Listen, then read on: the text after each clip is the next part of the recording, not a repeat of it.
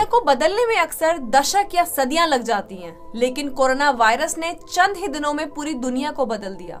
Social distancing के चलते हाथ भले नहीं मिल रहे हो गले भी नहीं मिल रहे हो लेकिन हिंदुस्तान के नमस्ते पर पूरी दुनिया के दिल ज़रूर मिल रहे हैं। कोरोना वायरस के चलते दुनिया के सभी बड़े लीडर्स नमस्ते करने की सलाह दे रहे हैं। इस वक्त वैश्विक स्तर पर बचाव को मद्देनजर रखते हुए कई देश लॉकडाउन हो गए हैं जैसे Italy Spain France. Corona virus से लड़ने के लिए भारत सरकार भी अपनी तरफ़ से सभी मुमकिन कोशिश कर रही है। लेकिन इस लड़ाई में क्या हम अपना योगदान दे रहे हैं? एक अच्छे नागरिक होने का कर्तव्य निभा रहे हैं। एंड ट्रस्ट में गाइस कोरोना की लड़ाई में हमारा हिस्सा गवर्नमेंट या फिर मेडिकल स्टाफ के हिस्से के आगे कुछ भी नहीं है। हमसे क्या एक्सपेक्टेशंस हैं? कोरोना वायरस को लेकर सचेत रहें, अफवाहों पे विश्वास ना करें। पूरे इंडिया में मास गैदरिंग पे बैन है तो भीड़ भाड़ वाले जगहों पे ना जाएँ। अगर किसी में कोरोना के सिम्टम्स दिखें तो हेल्पलाइन नंबर पे तुरंत कांटेक्ट करके जानकारी दें और इलाज के वक्त मेडिकल स्टाफ का सहयोग दें।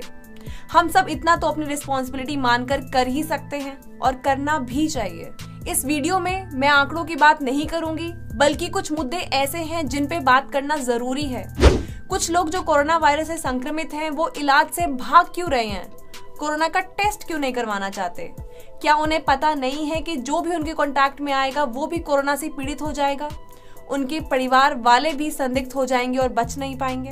दोस्तों, इस वीडियो में बात करूँगी आपकी कि आप कैसे कोरोना वायरस को रोकने में योगदान दे सकते हैं।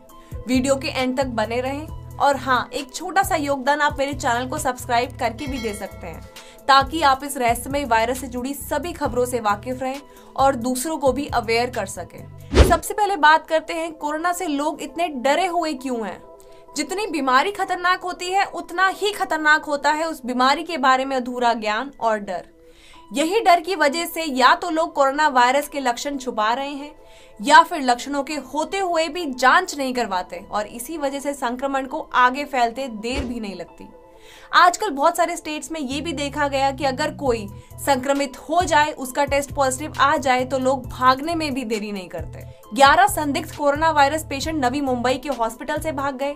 बिहार में कोरोना वायरस का एक पेशेंट मेडिकल चेकअप से भाग गया। गूगल के एक एम्प्लॉय की वाइफ जो पॉजिटिव पाई गई थी क्वारंटाइन से भाग गई। पहले फ़्लाइट लेकर बेंगलोर से दिल्ली ट्रैवल किया और फिर ट्रेन से दिल्ली से आगरा। उस एक महिला ने कितने लोगों को कोरोना के खतरे में डाला, ये तो आने वाला टाइम ही बताएगा।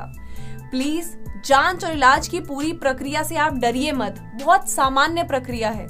डॉक्टर नर्सेस सब देखभाल करते हैं। हाँ इतना ज़रूर है दोस्तों और परिवार वालों से कुछ समय के लिए अलग रहना पड़ता है, लेकिन ये सबकी हिफाजत के लिए है, जिसमें आपका परिवार भी आता है। अब बात करते हैं कि क्वारंटाइन कैसे कोरोना से बचाव करता है। क्या कोरोना के लक्षणों को नजरअंदाज करना सही है? या फिर बस ऐसे सोच लेना कि मुझे नहीं होगा, मेरी तो इम्यूनिटी स्ट्रांग है। सोचने से काम चल जाएगा। क्वारंटीन आइसोलेशन स्क्रीनिंग ये शब्द सुनने में भारी भरकम लग सकते हैं, पर इस प्रक्रिया को समझना बहुत ज़रूरी है। क्वारंटाइन या आइसोलेशन उस बीमारी के फैलने की गति को धीमे कर देता है। बाहर कम जाएँगे तो आप इन्फेक्ट भी नहीं होंगे। और यदि बाय चांस जाने अनजाने में आप में वायरस है तो बाकी लोग भी इन्फेक्ट नहीं हो पाएँगे। स्क्रीनिंग से कोरोना वायरस के इनिशियल सिस्टम्स जल्दी पकड़ में आ जाते हैं। चाइना इसका लाइव एग्ज़ाम्पल है। वहाँ लोगों को क्वारंटाइन करना बहुत कारगर साबित हुआ। हर गाड़ी वाले, बल्कि लोगों के घरों में घुस घुस के स्क्रीनिंग की जा रही थी। तो हम क्यों इससे घबरा रहे हैं? अपना सहयोग नहीं दे रहे हैं। जरा सोचिए। अब बात करते हैं कि लोग क्वारंटाइन से क्यों भाग रहे हैं। लोगों का सरकारी स्वास्थ्य विभाग में भरोसा ना होना आश्चर्यजनक नहीं है। India has weak health system around the world Bharat public health पर अपनी जीडीपी का सिर्फ़ 1.28 परसेंट खर्च करता है। डब्ल्यू की यही चिंता है कि अगर भारत में ये वायरस फैला तो बहुत नुकसान हो सकता है, क्योंकि हमारी आबादी बड़ी है अवेयरनेस की कमी है और स्वास्थ्य सुरक्षा का ढांचा उतना मज़बूत नहीं है। पर इस समय हमें समझना होगा कि ऐसे मुश्किल वक्त पर कमियाँ निकालना नहीं, बल्कि आगे आके अपना सहयोग देना ज़रूरी है।